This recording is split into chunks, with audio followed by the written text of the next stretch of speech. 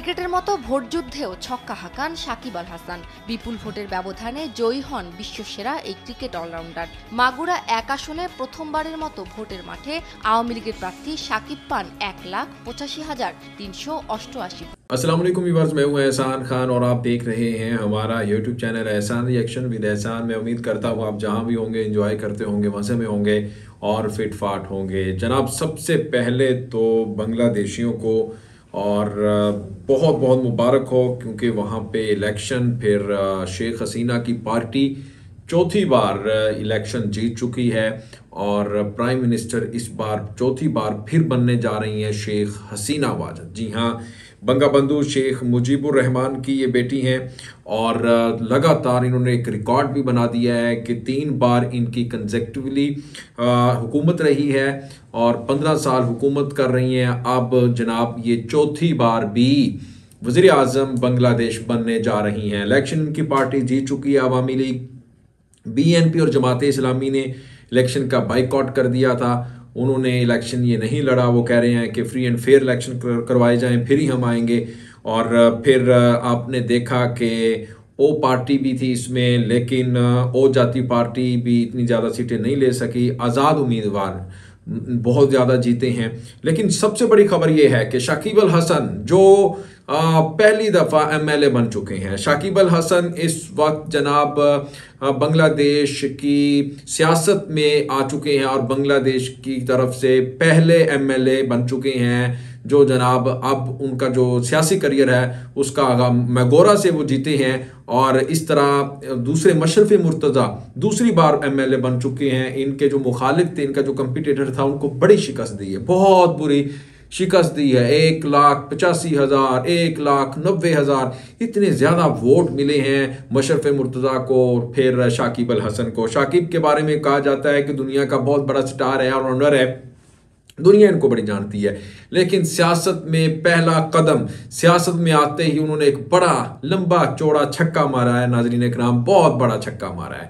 और मगोरा से वो इलेक्शन जीत चुके हैं। अवामी लीग की तरफ़ से नौका इनका इंतबी निशान था, वहाँ से इलेक्शन लड़े हैं। लेकिन शाकिब के बारे में इस वक्त बहुत, एक और भी कंट्रोवर्सी है। सोशल मीडिया पर आपने देखा कि एक थप्पड़ जड़ा है शाकिब ने। और वो कुछ तंग होने की वीडियो थी, उनको किया जा रहा था। लेकिन फिर उन्होंने थप्पड़ रसीद कर दिया है। इसके ऊपर भी बात करेंगे। लेकिन जी, बड़ी खबर ये है कि देखें, पाकिस्तान में इमरान खान भी जीत चुके हैं, फिर प्राइम मिनिस्टर बने और अब हमारे जनाब बांग्लादेश में भी ये देखा जा रहा है कि वहाँ पर क्रिकेटर को कितनी ज़्यादा इज़्ज़त, रिस्पेक्ट मिलती है।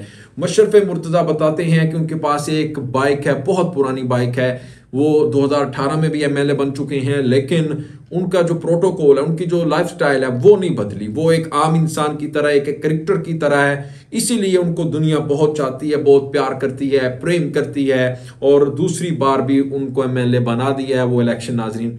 जीत चुके हैं। बांग्लादेश के इलेक्शन कैसे हैं, कैसे रहे, क्या फ्री एंड फेयर इलेक्शन हुए, सब टॉपिक के ऊपर हम बात करेंगे, लेकिन पहले हम जनाब शाकिब के बारे में मशरफ मुर्तज़ा के बारे में ये वीडियो देखेंगे, बांग्लादेशी मीडिया की है मेन स्ट्रीम मीडिया की ये वीडियो है, पहले वीडियो देखेंगे, फिर हम इसके ऊपर बात करेंगे। वीडियो देखने से पहले चैनल को जनाब सब्सक्राइब कर लें और बेल आइकन भी प्रेस कर दें, वीडियो को लाइक भी किया करें, कमेंट सेक्शन में आप अपनी फीडबैक से हमें ज़रूर आगाह भी किया करें। लें जी, वीडियो देखिएगा three two one and Q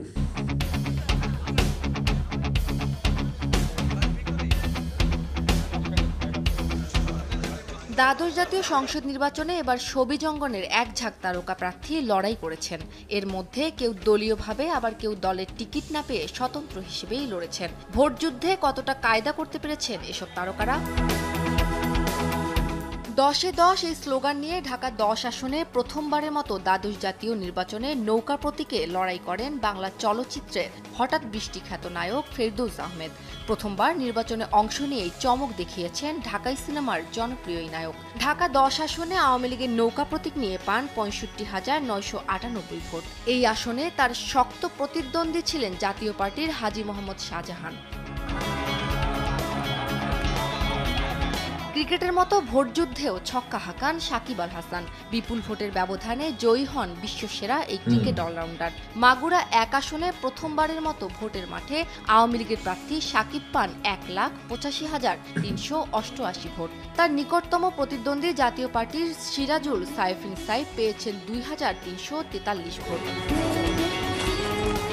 Habiganj চার আসনে বিজয় ছিনিয়ে এনেছেন সামাজিক যোগাযোগ মাধ্যমের পরিচিত মুখ সৈয়দ সাইদুল হক সুমন। ব্যারিস্টার সুমন নামেই তাকে বেশি চেনেন মানুষ। স্বতন্ত্র প্রার্থী হিসেবে এক লাখ উনসত্তর হাজার নয় ভোট পান তিনি। এদিকে সুমনের কাছে ধরাশায়ী হন বর্তমান বেসামরিক বিমান পরিবহন ও পর্যটন প্রতিমন্ত্রী অ্যাডভোকেট মাহবুব আলী।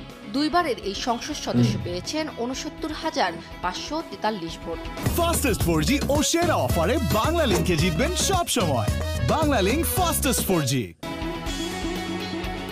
নড়াইল দুই আসনে আবারও জয় ছিনিয়ে এনেছেন বাংলাদেশ জাতীয় ক্রিকেট দলের সাবেক অধিনায়ক মাশরাফি বিন মুর্তজা। নৌকা প্রতীক নিয়ে এক লাখ উননব্বই হাজার একশো দুই ভোটে আবারও নড়াইলের ক্যাপ্টেন হলেন তিনি। তার নিকটতম প্রতিদ্বন্দ্বী বাংলাদেশের ওয়াকার্স পার্টির হাতুড়ি প্রতীকে শেখ হাফিজুর রহমান পেয়েছেন চার হাজার একচল্লিশ ভোট। नाजरीन, आपने ये वीडियो देखी, शाकिब अल हसन जनाब एम एल ए मुंतखब हो चुके हैं, इलेक्शन जीत चुके हैं और दूसरी तरफ़ मशरफ मुर्तज़ा भी जीत चुके हैं। सबक कप्तान हैं दोनों बांग्लादेश के, लेकिन बड़े मार्जिन से, बिग मार्जिन से इन्होंने विक्ट्री हासिल की है। कहाँ एक सौ पचासी, एक एक लाख पचासी हज़ार वोट और कहाँ सिर्फ़ पच्चीस सौ, दो हज़ार दो सौ तैंतालीस सिर्फ़ पच्चीस सौ से भी कम, ढाई हज़ार से भी कम वोट लिए हैं उनके कंपिटिटर ने, उनके जो मुकाबले में थे, वो उम्मीदवार हार चुका है। जातीय पार्टी का उम्मीदवार हार चुका है, नौका जिसका निशान था, यानी अवामी लीग का उम्मीदवार कैंडिडेट वो इलेक्शन जीत चुका है। शकीब अल हसन, जी हाँ मैं उसके बारे में बात कर रहा हूँ और मशरफ बिन मुर्तज़ा, उनको भी बहुत ज़्यादा वोट मिले हैं। उनके मुकाबले में बहुत कम वोट लिए गए हैं। इसका मतलब ये हुआ है कि वो बिला मुकाबला इलेक्शन जीत चुके हैं उनके मुकाबले में कोई है ही नहीं था एक किस्म का। इनकी इतनी ज़्यादा मकबूलियत है और इतनी ज़्यादा इनकी पॉपुलैरिटी देखा आपने बांग्लादेश में किस तरह से वो अपने हीरो को सल्यूट करते हैं अपने हीरो का आ, वो करते हैं रिस्पेक्ट देते हैं और आ, किस तरह से उन्होंने जनाब शकीब अल हसन को सियासत के मैदान में भी कितनी ज़्यादा इज़्ज़त बख्शी है।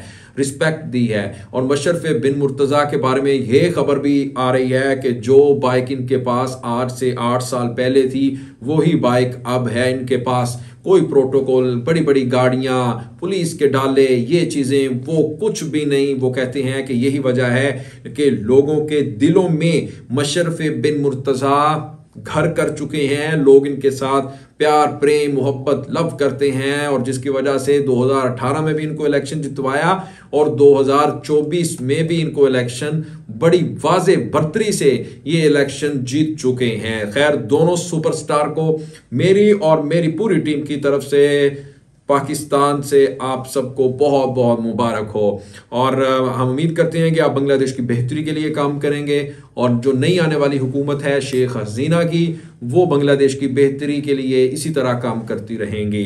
नेक्स्ट वीडियो में हम बात करेंगे कि क्या इस इलेक्शन को एक्सेप्ट कर लिया गया है बड़ी बड़ी सुपर पार्क की तरफ़ से या नहीं। जो उनकी ऑब्जर्वर टीम आई थी, आके जो जायजा लेती हैं, जो देखती हैं सर्वे रिपोर्ट्स इकट्ठी करती हैं, आया कि इलेक्शन ठीक हुआ है फ्री एंड फेयर हुआ है या नहीं हुआ, इसमें रिग किया गया है इलेक्शन को, धांधली हुई है। क्या कहना है अमेरिका के ऑब्जर्वर टीम का थिंक टैंक का? क्या कहना है यूके का? क्या कहना है रशिया की टीम का? इस सब के ऊपर इंडियन स्पेशली उनका, उनकी जो ऑब्जर्वर टीम है, उनका इसके ऊपर क्या रिएक्ट है? ये सब कुछ मैं आपको नेक्स्ट वीडियो में बताऊँगा। जुड़े रहिएगा। नेक्स्ट वीडियो तक और तब तक के लिए अल्लाह हाफिज़।